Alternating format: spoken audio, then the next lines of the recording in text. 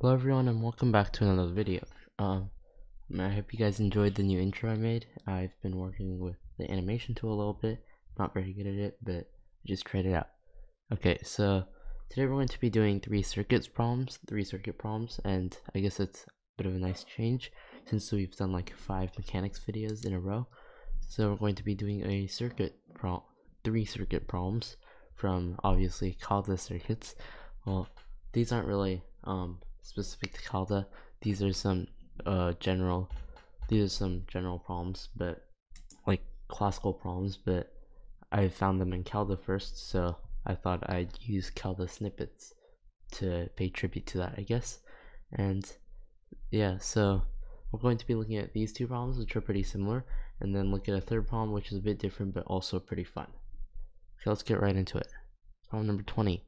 Determine the resistance between two neighboring vertices A and B of an infinite square lattice, assuming that the edges of the lattice are made of wire and the resistance of each edge is R. And so that's going to be the first problem, and the second problem, which is basically the same except it's an infinite cubic lattice, which means it's three dimensional, but that doesn't really change too much. So basically, let's draw out the lattice first. Um, so, oops, these that was a bad line. So there's a lattice like this, and each of these edges are resistors. Um, so these are all edges with resistance R. And basically the strategy with these problems is well, you want to create some symmetry, right? Because of the infinite, because of because anytime anytime you have things that are infinite, you need symmetry to solve them because it's too complicated. So, well, let's let this um. Sorry, let's let that be A and this be B, and if we and this resistance R. So it's not going to be just R, right? Because we have to deal with all these other resistors, and for that, we have to drive in a current and drive out a current. And by that, um, I mean basically like you drive a current I, I in here, and you take the current I out here. And you can, and using, um, using this current, you can find the voltage that happens between these two vertices, right? And if you know the voltage between these two vertices, you have V equals IR, which implies that R equals V over I. So if we drive in a current I and take out the same current I and see what happens, then we're going to be able to solve the problem. So, well, let's just consider this first current being driven in. By symmetry from A, there's going to be a current I over 4 here, a current I over 4 here, I over 4 here, and a current I over 4 here. Well, and here, I over 4. So, if you just drive this in, then from here to here, the um, resistance, um, sorry, the voltage created just by this current, obviously we have to drive the current out. Um, we have to drive the current out so that it actually makes sense, but with just thinking about this current, then here there's a voltage drop of Ri over 4. And now let's um now let's just take out the current. Then the current here is going to be I over 4 this way, I over 4 this way, I over 4 this way, and I over 4 this way. And so there's going to be a voltage drop added here of Ri over 4 well, we could have also just said there's i over 2 here, but I don't know. But this also just is the same thing. So then you get that the total voltage drop is equal to I times R over 4, R over 2, and using this and combining it with this, you get that the equivalent resistance between the two is equal to um, R over 2. And basically for the infinite cube lattice, we're going to do almost the exact same thing. We're going to drive in a current and take out a current and superpose those and see what happens. Alright, so I'm going to draw the, uh, maybe I should just read this first. Determine the resistance between two neighboring nodes A and B of an infinite cubic lattice, assuming that the edges of the lattice are made of wire, and the resistance of each edge is R. So let me draw the cube lattice, I guess, and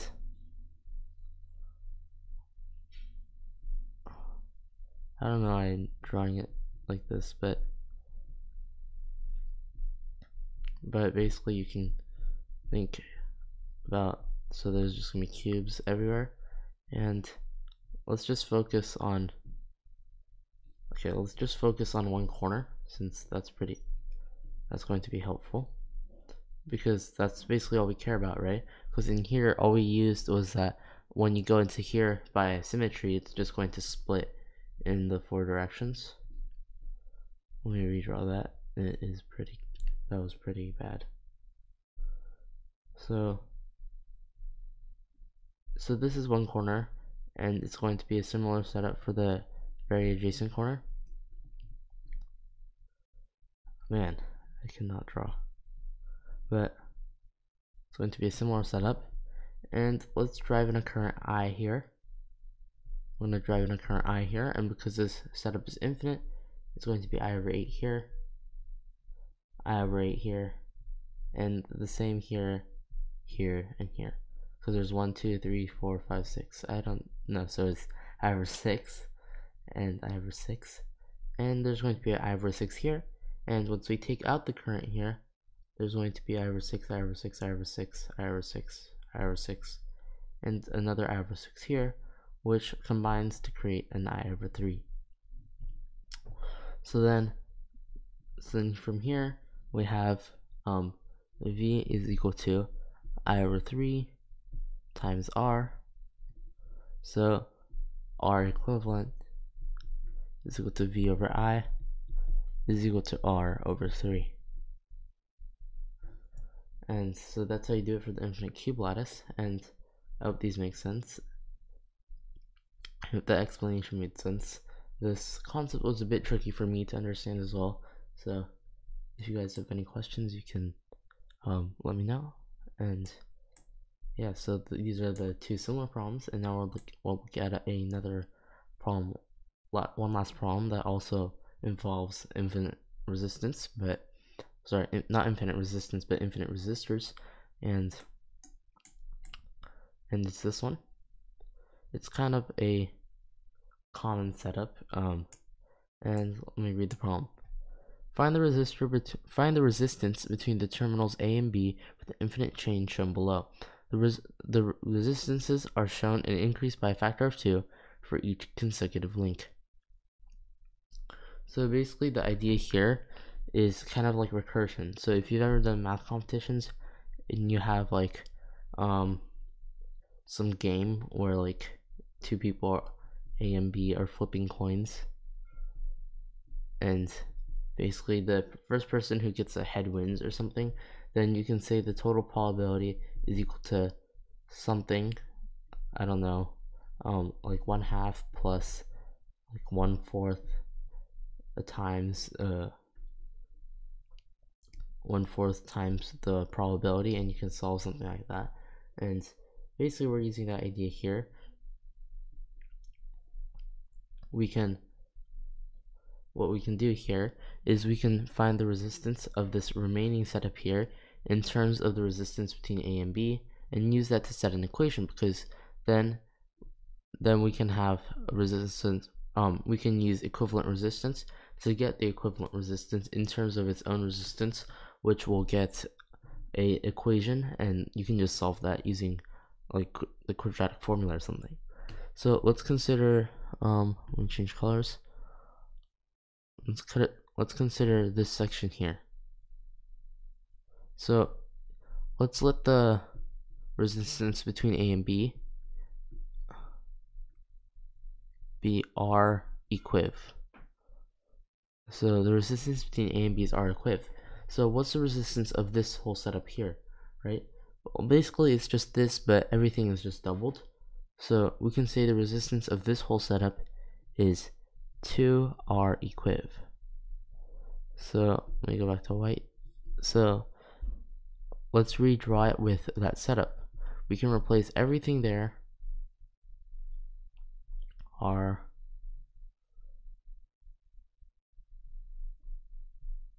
It's gonna draw it like that. Um, so we can replace everything on this side, this whole section here, with 2 times r equiv. 2 times r equiv. And, but we also know that the resistance of this setup here is r equiv. So what we can do is set up an equation. So r equiv is equal to, so now this is just using series and parallel circuit ideas. So it's r plus the equivalent resistance of this, which is going to be 1 over 1 over r plus 1 over 2 r equiv. So let's simplify this. This is r equiv equal to r plus 2r r equiv over 2r equiv plus r. So now let's multiply it out and we get 2r equiv squared plus r r equiv is equal to 2r r equiv plus r squared plus 2r r equiv. So let's rearrange and so that so this is a quadratic in r equiv, right? So we can rearrange this to be 2r equiv. Um, I'm just gonna replace this with a I don't know little r, so I don't have to keep writing the subscripts. So 2r squared plus well we have 4r equiv here, r r equiv, so it's going to be not plus but it's going to be minus minus 3 r r equiv sorry not r equiv r r and then we have this last r squared here so minus r squared is equal to 0 so by quadratic formula we have r is equal to 3r plus or minus the square root of 9r squared plus 8r squared over 4 which is equal to factoring out the r here r times 3 plus or minus root 17 over 4. So one last thing is we can't have a plus or minus, right? You can't have two resistances. So if you have a minus here, then the resistance becomes negative, which doesn't make sense. So we take the positive root, and it's r is equal to r times 3 plus root 17 over 4. And that's our answer to this problem. And that's basically going to be it for this video. And yeah. So, but all these, all three of these problems are kind of, when you look at them, it's complicated and you're like, oh, I might have to set up some weird series or whatever to solve for it. But it's actually quite simple once you exploit um, either symmetry or recursion like this one, where symmetry was exploited in the infinite setups, the previous infinite setups. And thanks for watching.